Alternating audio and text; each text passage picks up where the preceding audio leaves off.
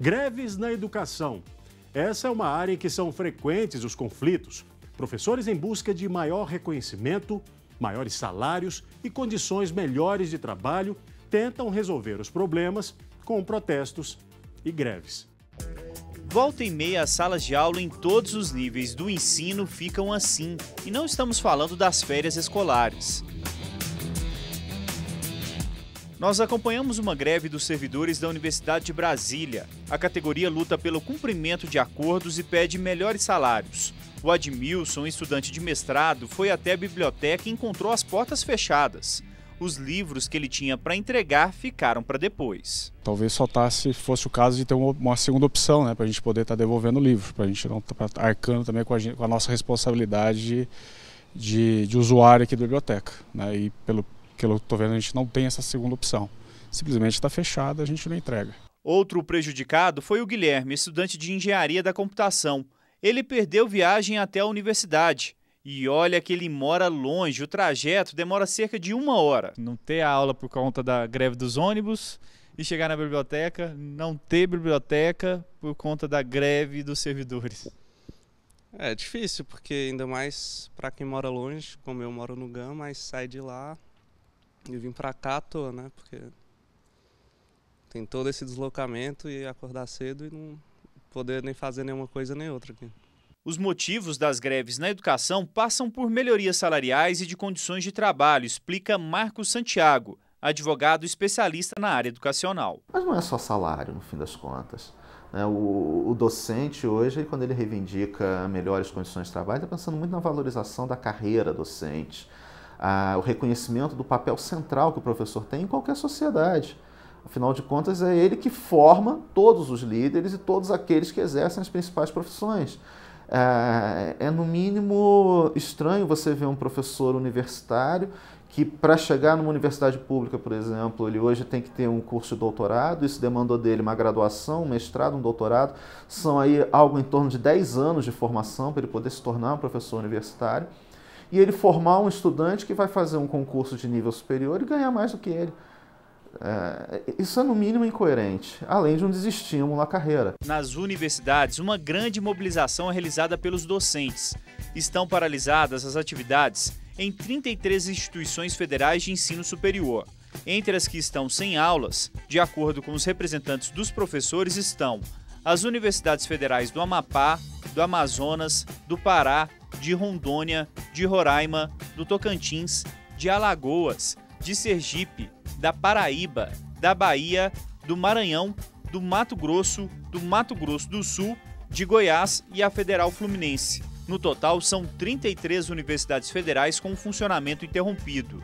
Instituições estaduais também fazem ou já estiveram fazendo parte do movimento grevista. Entre elas estão as universidades estaduais da Bahia, do Paraná, do Rio Grande do Norte, do Amapá e do Piauí. O repórter Justiça conversou com o presidente do Sindicato Nacional dos Docentes das Instituições de Ensino Superior. Paulo Riso explicou os motivos da paralisação em várias regiões do país. Nós estamos reivindicando correções na nossa, no nosso plano de carreira, corrigir distorções que ele tem, e estamos reivindicando condições de trabalho que se expressa na, na, na reivindicação de verbas para as universidades. Segundo ele, muitas universidades estão em dificuldade, já que o ajuste fiscal realizado pelo governo federal retirou mais de 9 bilhões de reais do Ministério da Educação. A redução de recursos afetaria as universidades. As universidades esse ano, algumas conseguiram agora terminar de pagar as contas do ano passado. Uh, nós temos uma situação de precarização muito grande em todas as universidades. Eu diria que está inadministrável às universidades.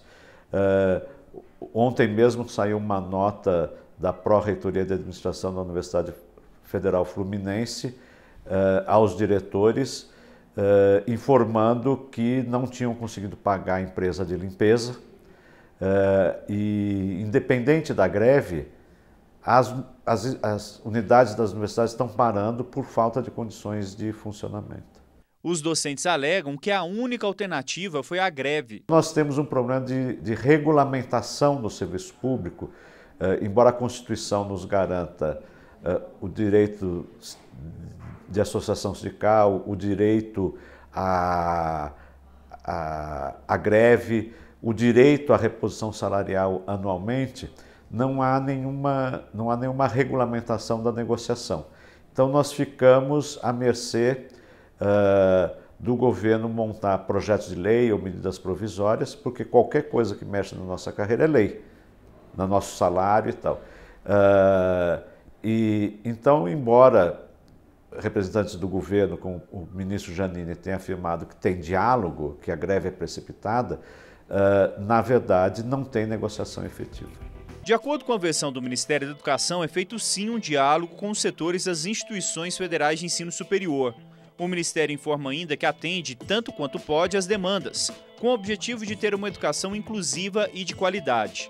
As autoridades alegam também que as greves não deveriam acontecer sem um amplo diálogo, já que prejudica os estudantes e toda a sociedade. O Ministério da Educação ainda se coloca aberto às negociações.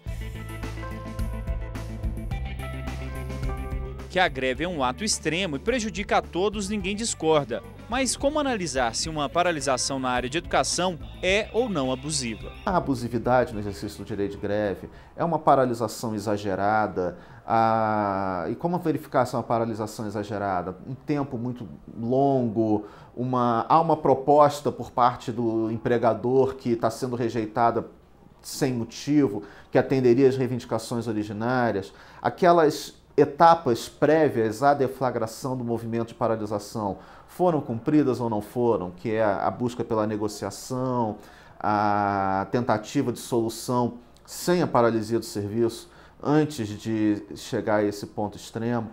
Cumpridos todos esses requisitos, não havendo vícios, é difícil falar em uma abusividade no exercício do direito de greve. A Lei 9.394, que estabelece as diretrizes e bases da educação nacional, determina que um ano letivo deve ter no mínimo 200 dias de aulas. Com as greves, os calendários acabam passando por uma adaptação. O calendário da Universidade de Brasília ainda não foi normalizado depois da última greve. Vai terminar em julho, no meio de julho, eu acho que é quase um mês depois do que a maioria dos outros lugares vai terminar as aulas. Né? Isso é ruim, né? É ruim, com certeza.